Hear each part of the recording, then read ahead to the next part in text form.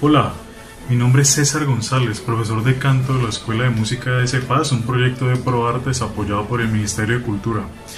Hoy voy a hablarles un poquitico de manera muy breve de la voz humana. Ya la voz es un instrumento de viento.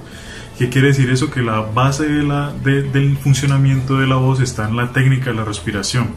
Hay varias clasificaciones, ustedes pueden escuchar que hay voces que cantan más agudo, otras que cantan más grave. Hay tres clasificaciones para hombres y tres clasificaciones para las mujeres. La voz más grave del hombre, el hombre que puede cantar más grave se llama el bajo, ¿ya? Y suena así.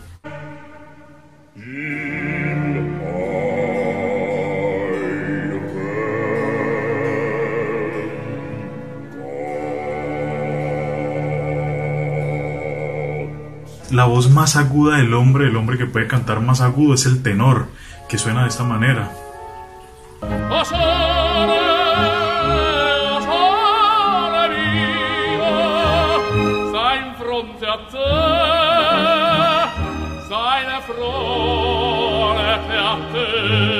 Y hay una voz intermedia entre los dos que se llama el barítono. Y el barítono, al ser una voz intermedia, tiene algunos graves del bajo y algunas voces y algunos sonidos agudos del tenor.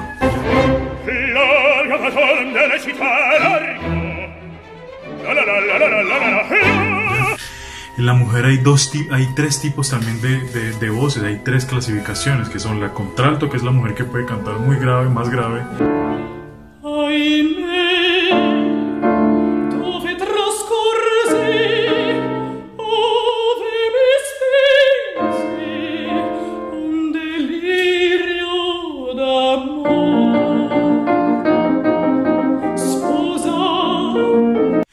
La soprano, que es la, mujer que puede cantar más agudo.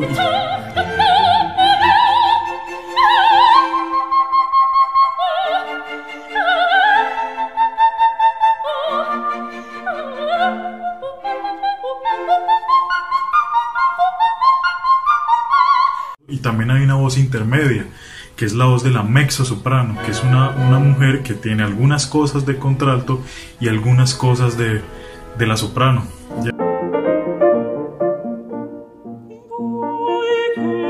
sapete che cosa è